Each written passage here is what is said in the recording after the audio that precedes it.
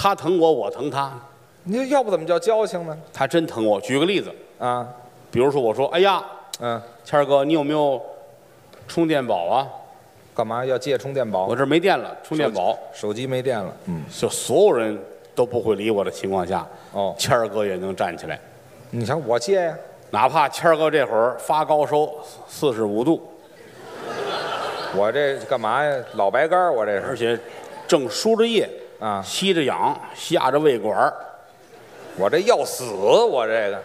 全拔了，啊，都拔了，是。也要回家给我拿充电宝去。我疯了是吗？我。一出门儿啊，打雷，咔嚓一个雷劈脸上，劈脸上，还站起来往前跑，我这胃管在地下耷拉着呢，可能。咵掉沟里了，好打沟里上来还往家走，哦，来大汽车，砰，还撞一下撞脸上了，啊，站起来还往家走，我就死不了。哎，到家拿充电宝也回来拿着了给我送充电宝来，啊，一进门给你应该的，不叫事儿，你瞧瞧，我能感动的眼泪哗哗的。那是啊，接过充电宝，把那线找出来，哦，插在我的充电宝上。你缺德不缺德呀？你不是手机没电了啊？就说他疼我，啊，您到底疼我呀，您也得我也疼他呀。是吗？前两天演出，他告诉我啊，太难受了，怎么难受。我说你怎么了？怎么了？智齿，哦，智齿是疼我是没长过智齿，但我听好多人说智齿疼起来难受，是吗？我就急得跟什么似的。您怎么办？我送谦儿哥上医院，看看咱有朋友是到医院，大夫你说啊，多少钱？多好的机器，哦想方设法让谦儿哥别这么难受。对，智齿疼起来要命，大夫有方子吗？大夫给他检查，啊，检查完了，这个分内痔和外痔，你火太大了，知道吗？另外，以后在洗手间不要坐的时间太长。您说那是痔疮，我这不是智齿吗？怎么还上厕所别太长时间呢？他其实痔疮，他没说明白，嗨，我干嘛那么嘴不利落没啊？说明白，就说这个意思。就我们哥俩就就这种好啊啊，是超乎外人想象的。对了，一块儿说相声，俩人好的跟一个人似的。是，相声是语言的艺术，嗯什么叫艺术？啊，什么叫艺？什么叫术？这还分着解释吗？演员的能耐叫艺，哦把术能够卖出去，这是完整的艺术。哦，术指的就是能把能耐往外卖，嗯，贴出于谦的名字来，观众坐满了，是，这叫有术。哦，坐在那儿一瞧，您有能耐，这叫有艺。嗯，单有艺没有术，那叫诈骗。哦，哎呀，我这个艺术这么好，那么好，观众听完了都能学好了。听完我，你们就是圣人了。嗯但是一说卖一毛钱一张票，观众骂着街就走了，呵，你这不叫艺术。不行，为你花一毛钱都不值，你再说别的，嗯。没有意义。哎，所以有意无术叫诈骗，嗯，有术无艺是商贩，哦，做生意，只能卖钱，但是实在是没什么正经玩意儿。嗯。啊，这个不灵，嗯，非得是有艺有术，这才全面。怎么能把相声说好啊？嗯，两点，两，两点记住了，第一，第一是活着，活着，第二是忍着。不，这这两点就算你看您，说在没有成功之前，才华等于狗屎，是啊。只有成功才能证明你的一切。哦，第一，活着，啊，嗯，对，四个说相声对着骂街，你把那三个人熬死了，你就是艺术家。是啊。你这还这么解释？二十五死一个，三十一枪毙一个，四十二车祸死一个，啊就留你连句人话都不会说，只要活到九十，你就是艺术家。嘿，你看，你有话语权啊，啊，这没人那仨天大能耐让你弄死了，谁弄死的呀？就剩你了，你说什么是什么呀？哦，所以，第一就是要活下去，啊，这对，第二要忍着，忍着是怎么回事？小不忍则乱大谋，怎么叫忍？一时冲动解决不了任何问题。哦，凡事哈哈一笑，忍到最后，嗯退潮了才知道谁没穿裤子。这嗨，这词儿用的，你不能坚持，你就不配成功。嗯，就跟唐僧似的，哦路过九妖十八洞，洞洞闹妖精，坚持到最后，你才能上西天。我 我上西天，不是，坚持到最后上西天见佛祖，你才能成佛立祖，哎，这对对吧？我这些年越发觉得我很像唐僧。是吗？你看，怎么？第一，我们俩都是替祖师爷打工，什么叫替祖师爷打工？替祖师爷干活，替祖师爷传道，哦替祖师爷干活，祖师爷还不管饭。哦，这不赏饭吃，第二，我们俩名字都多，都叫什么？你你看他，唐僧、唐长老、唐朝和尚、玉帝、玉帝哥哥。啊，这都是名字。你看我也是啊，啊您有什么？你比如说，就喊郭老师的，对，喊郭德纲的，嗯，啊，这个有的观众喊喊郭老板啊，哦有郭麒麟的观众，他们管我叫爸爸；啊，有张云雷的观众管我叫姐夫啊，叫什么都有啊。对，甭管真真假假，名儿很多是。啊。还有一点相似，就是我们都让妖精惦记着您怎么都让妖精惦记呢？啊，吃一口唐僧肉，长生不老；嗯骂一句郭德纲，大红大紫。这嘿哈，真的，你你你打开头条，嗯，头条上有关相声的帖子，要不提郭德纲，他都没法发。啊，这段相声，郭德纲都快笑死了。呵，这段相声，郭德纲也不会，啊老得挂上我。其实点开了，里边跟我没有什么关系是吧？啊，挺好。如果你有被人家利用的价值，说明你还可以，这有存在这的价值。点我们很认同。最重要一点，就跟我跟唐僧有一点特别相似，还有哪儿啊？他身边有个猪八戒，哦，我呀，这别拿我比这个，打小嗯，我们就在一块儿。是发小那会儿曲艺团啊招学员，是，我们在一个培训班。当年这个班是要放在戏校，嗯，在戏校里边儿，为了用人家的文凭啊，是上文化课。嗯，其实那会儿也挺不容易的。那时候是我记得那会儿我们十十几岁儿，嗯，去趟小卖部，啊，拿五块钱，牙刷、牙膏、什么糖、方便面啊，好家伙，一大堆东西。哎，对，买一堆，现在不行了，哪儿现在贵了？现在他们装监控了。嗯，偷去了是吗？小孩儿嘛，这啊嘴也馋，愿意吃点好东西。那也不能不那会儿没什么好吃的。我们学校那会儿印象特别深，啊，我们那个厨子就得枪毙，枪毙，然后救活了，然后再活活打死。嘿，好家伙，怎么那么恨人家我们学校那个菜，好家伙，酸奶炒鸡蛋，啊？月饼炖橘子，哼，火龙果那皮炒菠萝皮，这瓤儿都哪儿去了他？们校长吃了都，啊好嘛，不容易那会儿。你吃完饭，晚上吃完饭，那碟子拿着水龙头一冲就干净，没什么油没有油。嗯，全学校一年用半斤香油，啊？有这么一瓶儿，瓶儿里插一筷子，哦筷子上绑一铜钱。嚯，哎，这瓶儿香油在校长办公室里搁着，这太可每天厨子大铁锹炒白菜，哎呀炒差不多了，一看快熟了，请校长。干嘛呀？校长拿着瓶子来，拿着筷子蘸一下，锅里一和弄，啊这今天的油钱就够了。啊，和弄在里头。大年初一打半斤香油，是到年三十儿改一斤了，嗯哎，怎么多出半斤？带回半斤水去。嗯哎，嘿，好，往回带。吃这个，孩子们没有油水啊，那是啊，没有油水，晚上还得有晚自习啊，还有晚自习。练功啊，嗯，七点到九点晚上，哦有一练功房，四面的大玻璃，嗯还得跟那儿弯腰踢腿翻跟头。嚯，但他他不练，我我凭什么不练？这俩钟头是人家孩子吃加餐的时候，我还有加餐呢。家里有钱呢，啊，家里有钱啊，一到七点家里边送零食来了，我们家给我送什么零食啊？有那么一大口袋。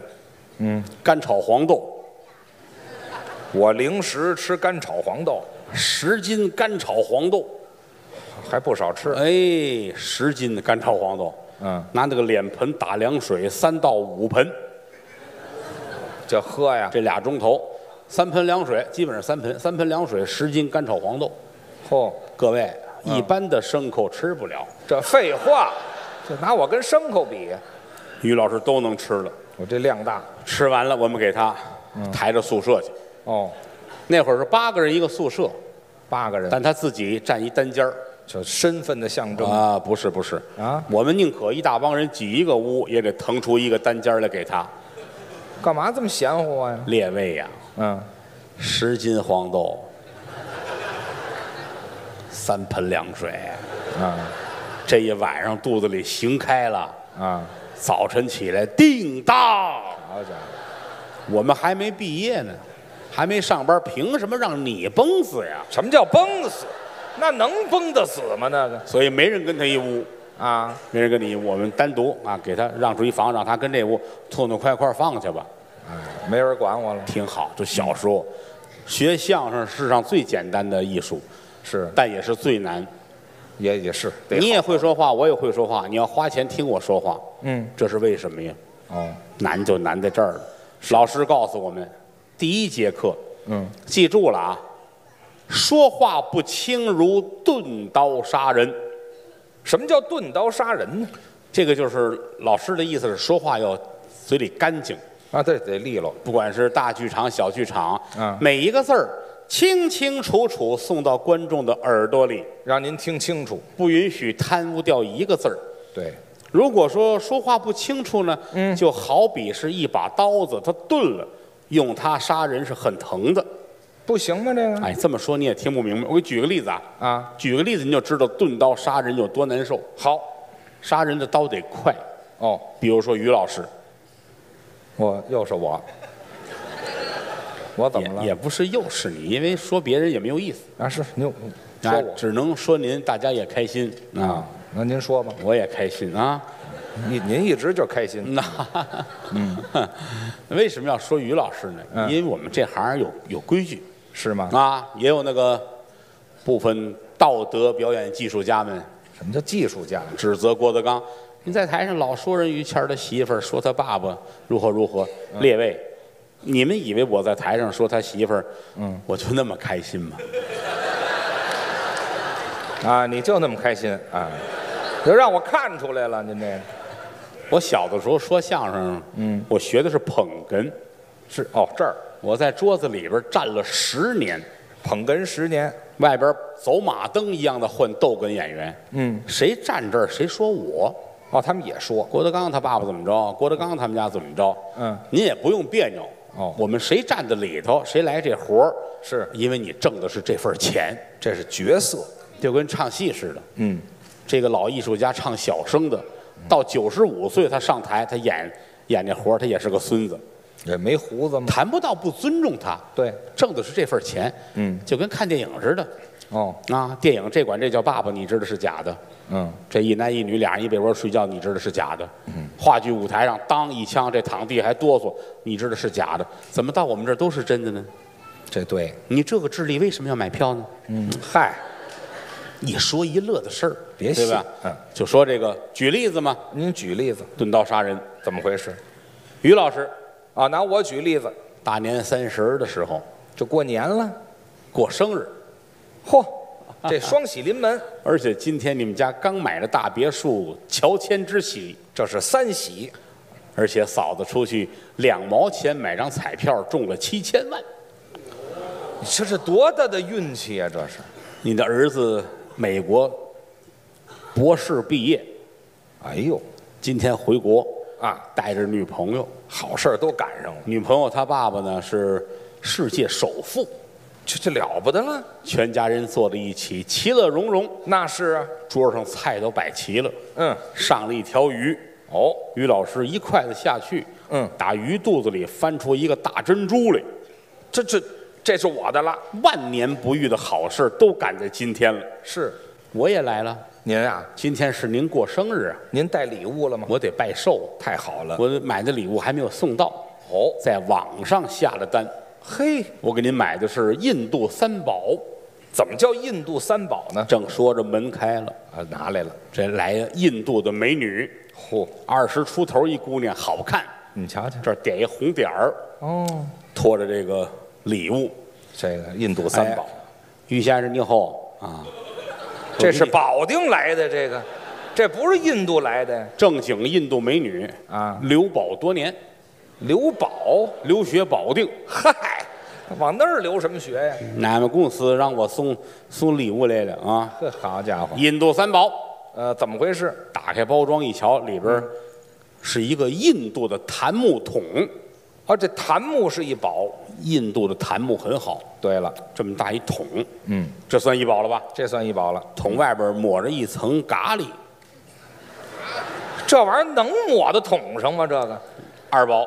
哎，咖喱是一宝，一掀盖儿，这是，满满登登就这一桶嗯，印度神油，好家伙，这玩意儿有拎桶送的吗？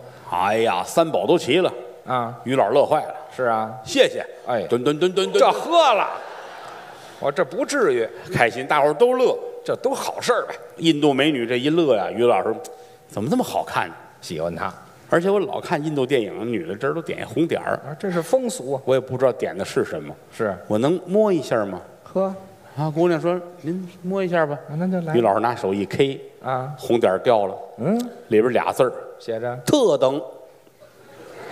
什么叫特等啊？这是我公司的这个抽奖，哦，特等奖。哎，可以抽这个 K 下来，完了特等奖，这特等奖是什么呀？特等奖简单，什么？就这印度美女以身相许，你瞧，这这这太好了，这个，你这玩意儿，这个印度美女也高兴啊。啊，那是啊。哎呀，没有想到大今儿起都是你们家的人了。哎，这啊让他回去吧，回去吧咱们。咱们一块儿过日子吧。哎，得得了，于老师高兴，我嫂子不高兴啊，那他不干了，凭什么呀？不行啊。走，不让来，不允许。哎呦，啊家里乱套了，哎呀，我也跟着劝吧。那是啊。这会儿功夫，一百多官兵来了。官兵干嘛来了？你瞧，啊，于老师哦，跟我们走，这是今天杀头，我都全白高兴了，前面那这怎么办呢？人生大喜大悲啊！啊跟我们走，今天要杀头了。这叫砍，哎，那为什么要杀我呀？就是啊，什么罪过？因为不知道。哦，哎，大人说了，先杀后问，不，那还问什么劲呢？你得说说我什么罪名？罪名就是带你走去解释一下什么叫钝刀杀人啊！哎，这好嘛，就为这事儿。给于老师抓走了，哦，屋里边一下就冷清下来了。那是啊，大年三十，嗯这么些个好事没想到突如其来出了这么一个恶事。全没赶上。儿子跟女朋友做对联儿，哦，我也坐在这儿傻了。还有你，这边坐着嫂子，这边坐着印度美女，全有。我们五口人跟这儿呆若木鸡，有你什么事啊？跟这掺和。劝也不是，不劝也不是。啊？到最后，嫂子擦擦眼泪，他说什么呀？哎，嗯，闭门家中坐，祸从天上来，可不是吗？难过也不是办法。嗯，意思就是儿子，行了，别哭了，哦，啊，端杯，得先敬你小妈一杯。这这就认一个是吗？你看我们几个人，这年还得过呀。怎么过呀？其实心里不是滋味啊，难受啊包饺子吧，是吧？这是难受的做法吗？啊，肉的、素的、鲅鱼馅儿的，嗯，简简单单弄了七八种馅儿的饺子，好好心情，这是其实心里难过呀。没瞧出来。哎呀，包蒜啊，嗯弄腊八蒜，弄醋啊真，全炸辣椒油。啊对嫂子说我吃那是萝卜馅儿的饺子，萝哦嗯，给他泼点芥末，真讲究。萝卜馅儿饺子蘸芥末，对啊，哎呦，还得卸点那个咖喱的汁儿。嗯对，那边还印度娘们儿呢。嗯，来吧，嗯，酒都打开吧。是啊，红酒、白酒、啤酒，这全真全开开了，这心里不是滋味儿。哎，喝吧，别哭了。那年三十，来打开电视，嗯看看春晚。今年有没有好相声啊？没有了，我都死了，哪来的好相声？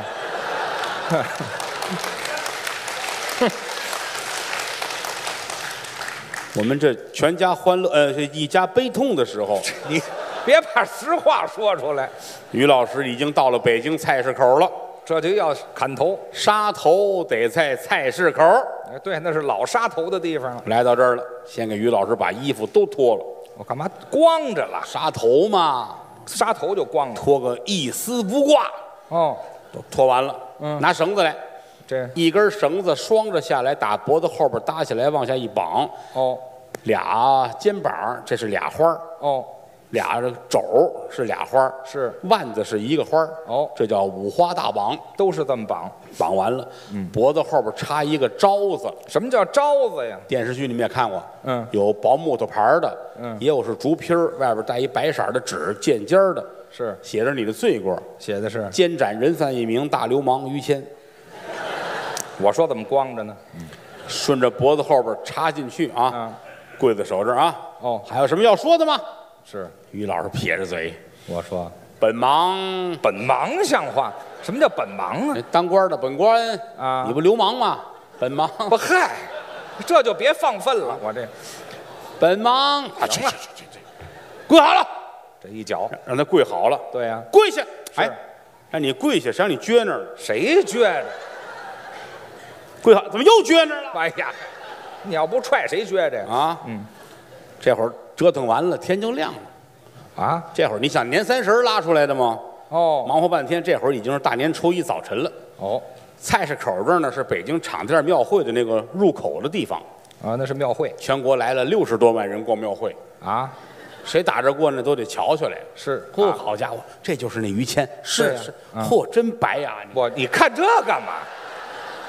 你卖票不卖票啊？你们这个都得从您跟前绕一圈儿啊再逛庙会去。嚯，一眨眼的功夫呢，就初七了。啊！我展七天呢，跟这儿。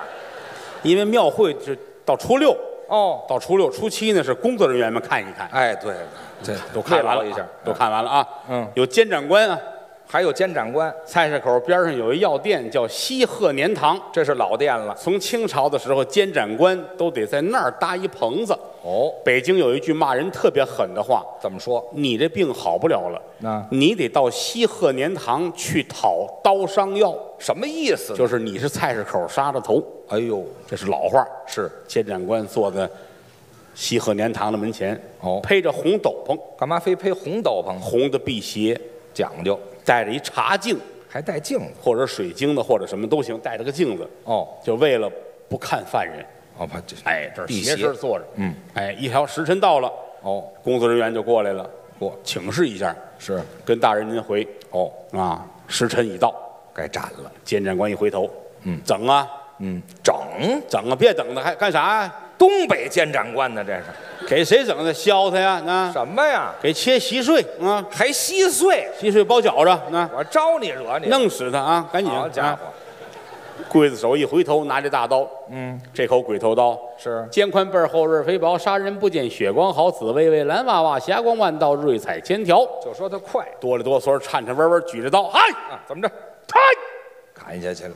是不是吓一跳？没砍呢？谁跟你斗了？跟着？吓一跳，哎，谁跟你斗？哎，尿了尿了，哎不用，吓都吓死了。这个，行，赶紧砍吧！你晃悠我干嘛？还玩吗？行了，行了，我这吓死了一会儿一刀下去，啊！这回人头落地，这完了吗？这脑袋咕噜咕噜咕噜咕噜咕噜咕噜咕噜咕噜，我突然间停住了，停住了是？等红绿灯，哎嗨，我要这么规矩，至于砍头吗？我这个。啊，绿灯了，啊，这人头咕噜咕噜噜噜。又来了。过马路，哦。再一扭头，我说。人头张嘴了，我说，好快的刀啊！嗨，我也太贱了。哎，这就杀人这刀得快，哦。要钝刀可就坏了。钝刀不行吗？前面都不变啊啊还是我们五口人幸福的生活。就别提这五口人了于了。老师已经在菜市口展览了六天了啊那是你们幸福了啊，到这天了啊！啊，启禀大人，时辰已到。这就该砍。大人一回头，整啊，哎，这还等啥呀？这东北官还没换呢啊，削他呀，弄死切稀碎呀嗯！行了，干嘛我招你惹你？赶紧别等他了啊！啊！刽子手把刀举起来，这个刀这口刀打唐朝传下来的，老刀了从来没有人磨，哦，哎，没人出这个两毛钱磨刀钱，好家伙，刀刃都是锯齿啊，都带齿儿一齿一齿，啊这儿举起来，哎，哎开，啊，整多在脖子上，多上了不往下走啊！啊！刽子手真急了，怎么办我走你！啊，